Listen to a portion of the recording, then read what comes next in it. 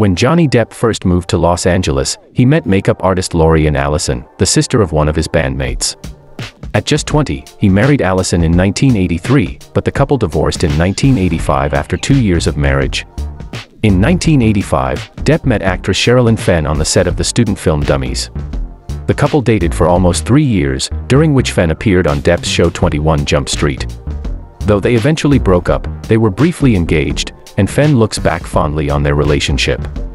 Depp was introduced to Dirty Dancing actress Jennifer Grey through her agent in 1989, shortly after she ended her engagement to Matthew Broderick. Depp proposed to her within two weeks of meeting, and she accepted. However, their relationship was short-lived, with Grey later mentioning that Depp started getting into trouble while filming.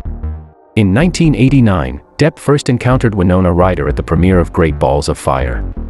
At the time, Depp was 27 and Ryder was 18. They got engaged five months after their first date, and Depp even got a Winona Forever tattoo. In 1990, they starred together in Edward Scissorhands.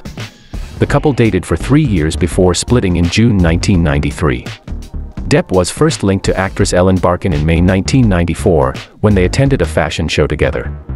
Barkin later claimed that Depp once threw a wine bottle at her during a fight, a claim Depp denied, suggesting Barkin held a grudge against him. In early 1994, Vanity Fair writer George Wayne introduced Depp to Kate Moss at Cafe Tabac in New York City. Despite their 11-year age gap, they quickly began dating and were seen together in LA and St. Bart's shortly after. However, in September, they had public altercations, leading to Depp's arrest after one incident. The couple dated for several years before splitting in 1997, briefly reuniting in 1998 for the Cannes Film Festival before parting ways again. Depp met model Vanessa Paradis in 1998 while filming The Ninth Gate in France. They had known each other for years through mutual friends. They welcomed their daughter Lily Rose in 1999 and their son John Jack Christopher in 2002. The family chose to live in the south of France for privacy. Despite initially denying rumors of their split, Depp and Paradis announced their amicable separation in June 2012. Depp first met Amber Heard on the set of The Rum Diary in 2009, while still in a relationship with Paradis. After his split from Paradis in June 2012, Depp was confirmed to be dating Heard in 2013. They got engaged in January 2014 and married in February 2015.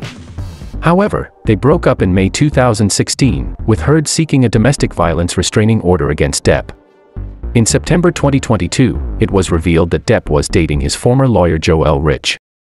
Although the timeline of their romantic relationship is unclear, Rich attended his defamation trial in Virginia despite no longer being part of his legal team.